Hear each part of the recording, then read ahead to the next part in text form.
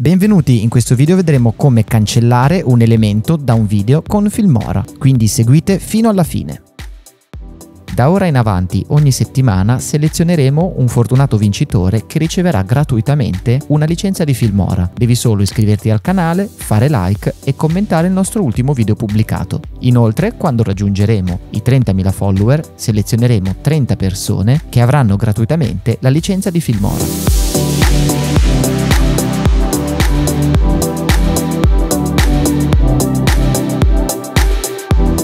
Può succedere di effettuare delle riprese e trovare in scena qualcosa che non dovrebbe essere all'interno dell'immagine. Come possiamo fare per eliminare quell'elemento? Dipende molto dal tipo di ripresa che abbiamo a disposizione. Ad esempio se è una ripresa fissa oppure se è una ripresa su cavalletto. Ad esempio se è una ripresa fissa oppure se è una ripresa su cavalletto. O ancora se l'oggetto che dobbiamo cancellare è statico oppure si muove. A seconda di questi parametri è possibile effettuare una cancellazione più o meno velocemente. Vediamo come fare con un paio di esempi. Inseriamo il video all'interno della nostra timeline. In questo caso si tratta di un video in slow motion, è ripreso a mano ma è abbastanza stabile. Ipotizziamo di voler eliminare questo gruppo di persone che si trova sulla spiaggia. In questo caso possiamo farlo facilmente perché il tipo di immagine si presta a questa operazione. Non è detto che per forza eh, questa cosa funzioni con tutti i tipi di ripresa. Qui abbiamo il vantaggio di avere un'area vuota, quella della spiaggia, attorno al soggetto da cancellare e questo lo possiamo usare proprio per andare a coprire questa parte di immagine. Inoltre l'oggetto è libero, quindi non ci sono elementi che ci passano davanti e che possono rendere questa operazione più complicata. Una volta che abbiamo la nostra ripresa, la prima cosa da fare è duplicarla e piazzare la duplicazione su una traccia sovrastante. Queste due immagini ci serviranno proprio per creare la patch, quindi la copertura. Per prima cosa clicchiamo sul video che si trova sulla traccia superiore e andiamo a creare una maschera. Quindi andiamo in video, maschera e selezioniamo la forma che più si presta per la cancellazione che dobbiamo fare. Nel mio caso posso usare direttamente una forma a cerchio. La maschera ora non la vediamo perché abbiamo una duplicazione, quindi anche se una parte d'immagine viene cancellata, noi non la vediamo perché abbiamo due volte la stessa immagine una sopra l'altra, quindi andiamo a disattivare momentaneamente la traccia sottostante. In questo modo possiamo vedere la maschera e noi dobbiamo andare a coprire senza sforare troppo ma dandoci un pochino di bordo che ci serve per lavorare meglio. Poi possiamo fare un'altra cosa, cioè aggiungere della sfumatura alla maschera perché altrimenti si vedrebbe lo stacco della cancellazione. Quindi andiamo nelle impostazioni della maschera,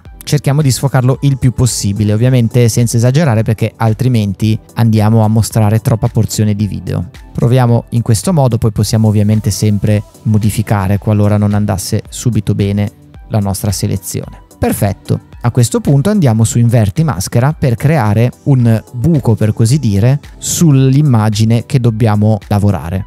Vedete che qua ci accorgiamo che la maschera va un pochettino allungata e per ora potrebbe andare bene così. Possiamo anche controllare il movimento. Ecco, quello che noi dobbiamo fare è fare in modo che la maschera copra sempre e comunque in, eh, indipendentemente dal movimento la porzione di video che ci serve. Quindi quello che potremmo fare è fin da subito animare la nostra maschera. Per farlo ci basta andare nelle impostazioni della maschera, visto che noi dobbiamo modificare sia il percorso ma magari anche un po' le proporzioni o la scala, ci conviene selezionare direttamente tutti i keyframe in questo modo e iniziamo a lavorarla.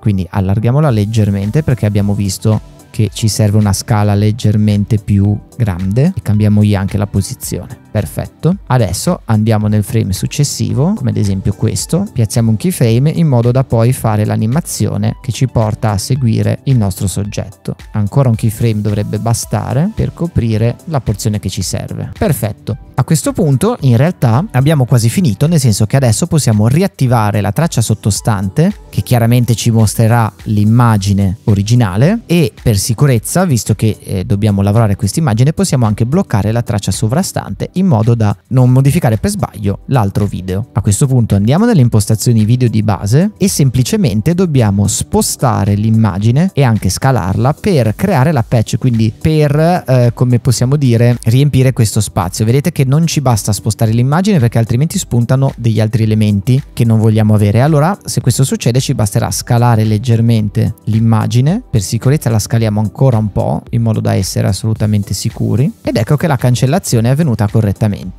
Chiaramente andando in play e avendo animato noi la maschera non avremo problemi perché sarà sempre e comunque coperto dalla porzione di immagine che abbiamo scelto. Ovviamente se l'immagine è su cavalletto è ancora meglio perché non c'è bisogno neanche di animare la maschera, viceversa ci sono dei casi in cui la cancellazione è un pochettino più complicata. Con lo stesso ragionamento possiamo fare un secondo esempio, prendiamo per esempio questa scena, questa scena c'è molto movimento, immaginiamo di voler eh, eliminare il gabbiano. Questo ci permette di vedere un caso differente. Prendiamo la parte centrale dell'immagine, facciamo come prima, quindi duplichiamo, sovrapponiamo, togliamo momentaneamente la traccia sottostante disattivandola, andiamo in maschera. In questo caso potrei usare anche una maschera differente, comunque proviamo di nuovo con la maschera a cerchio, teniamo conto anche del movimento, sfochiamo, possiamo farlo anche direttamente dalla preview tirando diciamo questa maniglia che ci permette di regolare proprio la nostra sfocatura. Qua lasciamo un po' più largo, tanto abbiamo molta porzione di immagine da poter usare essendo che stiamo riprendendo il cielo. Anche qui andiamo a invertire la maschera e come prima ovviamente dobbiamo animarla. Qui dovremo fare qualche keyframe in più perché l'oggetto si muove molto rapidamente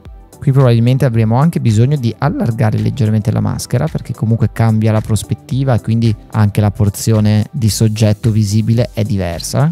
E a questo punto di nuovo andiamo a riattivare la traccia sottostante, andiamo nelle impostazioni video di base e vediamo un po' cosa possiamo fare per coprire. Da questo punto di vista dobbiamo stare attenti qui, essendo che eh, si tratta di un cielo, alla sfumatura perché è vero che possiamo cancellare facilmente spostandoci, ma è anche vero che il cielo ha diverse sfumature, quindi potrebbe vedersi come una specie di macchia e quindi dobbiamo un attimo capire qual è per noi la soluzione migliore. Possiamo anche spostarci in verticale, magari zoomare anche in questo caso un po' di più Ricordiamoci sempre di bloccare il layer sopra perché altrimenti rischiamo di modificare l'immagine sbagliata. In questo caso il soggetto si muove all'interno del nostro frame. Vedete che in questo caso dobbiamo animare anche in realtà l'immagine sottostante. Quindi attiviamo i keyframe nelle impostazioni di base e partendo da qui dove il video funziona noi dobbiamo in verità andare poi a modificare leggermente quello che abbiamo fatto tra l'altro notiamo che la maschera qui va rifinita, ma possiamo farlo in un secondo momento senza problemi. Andiamo a rifinire la maschera nel punto in cui abbiamo notato che doveva essere ritoccata.